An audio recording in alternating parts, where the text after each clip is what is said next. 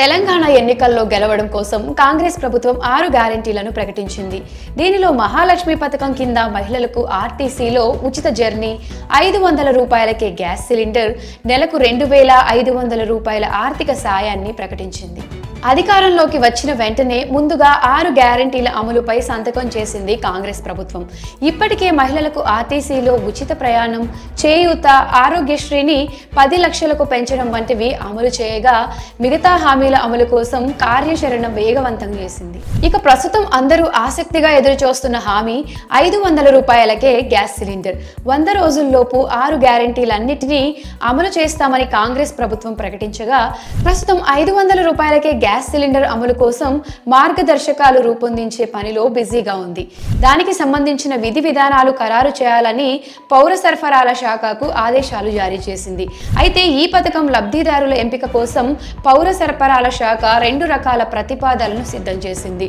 Ration card ఉన్నవారితో పాటు లేని వారిలో కూడా లబ్ధిదారులను ఎంపిక చేయాలని ప్రతిపాదించారు అధికారులు. అయితే ముందుగా రేషన్ కార్డుతో నిమిత్తం లేకుండా లబ్ధిదారులను ఎంపిక చేయాలని అధికారులు సూచించారు. సూచించారట ప్రస్తుతం తెలంగాణలో మొత్తం కోటి ఇరవై లక్షల గ్యాస్ కలెక్షన్లు ఉండగా హెచ్పిసిఎల్ నుంచి నలభై మూడు లక్షల నలభై వేలు ఐఓఎస్సిఎల్ నుంచి నలభై ఏడు లక్షల తొంభై వేలు బీపీసీఎల్ నుంచి ఇరవై నాలుగు లక్షల నాలుగు వేల మంది వినియోగదారులు ఉన్నారు. అయితే కోటి ఇరవై లక్షల వినియోగదారుల్లో నలభై నాలుగు శాతం మంది ప్రతి నెల గ్యాస్ బుక్ చేసుకుంటున్నట్లు అధికారులు గుర్తించారు. అంటే యాభై రెండు లక్షల ఎనభై వేల మంది ప్రతి నెల ఒక గ్యాస్ సిలిండర్ వాడుతున్నారు.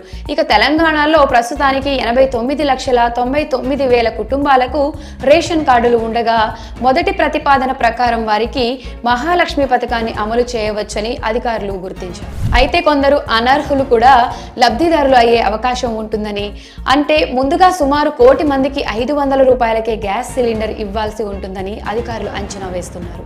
ఇక రెండో ప్రతిపాదనను లెక్కలోకి తీసుకుంటే దానికి సర్వే చేపట్టి లబ్ధిదారులను ఎంపిక చేయాల్సి ఉంటుందని అందుకు ఎక్కువ సమయం పడుతుందని అంటున్నారు అధికారులు. ఇటీవల జరిగిన సమీక్షా సమావేశంలో పౌర సరఫరాల శాఖ అధికారులు ఈ ప్రతిపాదనలను మంత్రి ఉత్తమ్ కుమార్ రెడ్డికి అందించారు. ఇక అధికారికంగా గురువారం నివేదికగా కూడా అందజేశారు. ప్రస్తుతం గ్యాస్ సిలిండర్ ధర తొమ్మిది వందల యాభై ఐదు రూపాయలుగా ఉంది.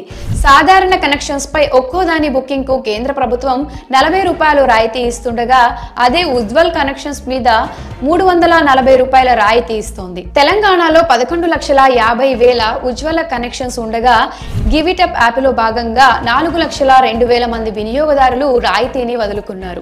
అయితే మిగిలిన వినియోగదారుల్లో మహాలక్ష్మి పథకానికి ఎవరిని ఎంపిక చేస్తారనే అంశం మీద అదనపు భారం ఆధారపడి ఉంటుందని అధికారులు అంచనా వేస్తున్నారు. మొత్తంగా మహాలక్ష్మి పథకం కింద లబ్ధిదారులకు ఏడాదికి ఆరు సిలిండర్లను ఐదు వందల రూపాయల చొప్పున ఇస్తే రెండు వేల రెండు వందల ఇరవై ఐదు కోట్లు.